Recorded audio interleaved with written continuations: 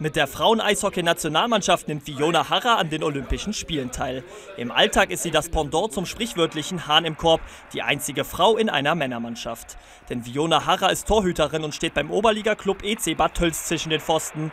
Wenn einer ihrer Männer einen Schuss aufs Tor zulässt, ist die zierliche 27-Jährige zur Stelle.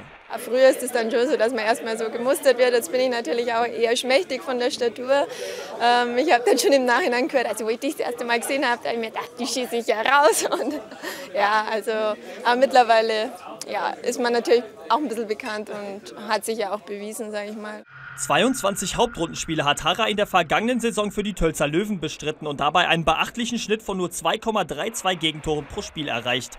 Dabei profitiert sie von den professionelleren Trainingsbedingungen im Männersport. Der Frauensport entwickelt sich nur sehr schleppend weiter.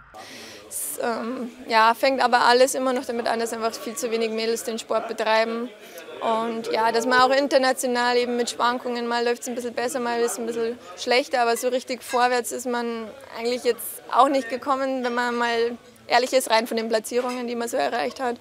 Und ja, dann ist es natürlich auch schwierig, wenn dann wiederum kein Erfolg da ist, dann interessiert es natürlich auch niemanden, dann gewinnt man auch so natürlich keinen Nachwuchs. Also es ist halt so ein Kreislauf, der schwer zu durchbrechen ist.